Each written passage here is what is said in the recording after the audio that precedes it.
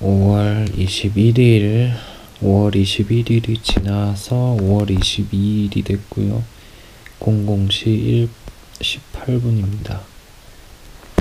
아, 36일차가 지난, 지나서 벌써 37일차로 넘어가는 시간인데요.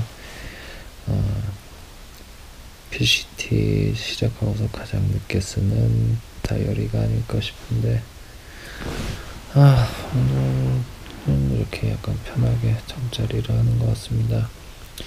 조금 늦은 시간이긴 하지만 그래도 아 길에서 만난 외국인 아저씨의 집에 초대를 받아서 이렇게 와 있고 어, 맛있는 저녁도 먹고 브라우니도 구워줘서 맛있게 먹고 커피도 마시고 그리고 대화를 엄청 많이 한 것 같아요. 그 이제 아저씨 부부와 함께 넷이서 정말 여러 가지 이야기를 많이 나눴습니다. 뭐 영어가 부족해서 제대로 알아들은 거는 그렇게 많지 않지만 그래도 뭐 정치 얘기, 사회 얘기, 뭐 여행에 대한 얘기 등등.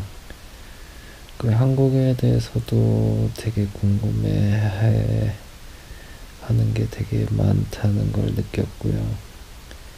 그만큼 관심이 많다는 걸 테고, 뭐 아들이 한국에 있어서 그런 것도 있겠지만, 어,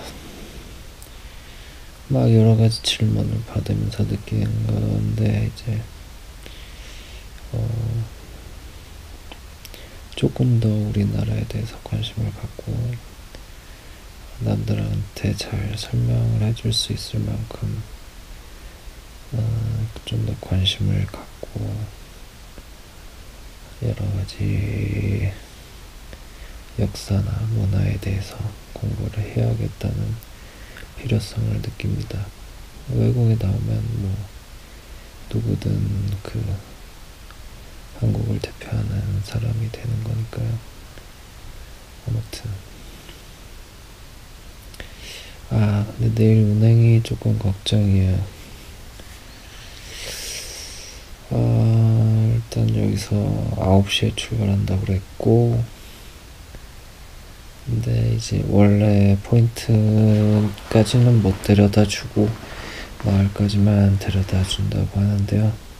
그 마을에서 또 히치하이킹을 해서 원래 포인트로 이동을 해야 될 텐데 그게 쉬울지 잘 모르겠습니다. 아, 그거는 그때 가서 부딪혀보고 해결하는 걸로. 하고 아, 배도 부르고 하니 저는 빨리 자야겠습니다. 안녕.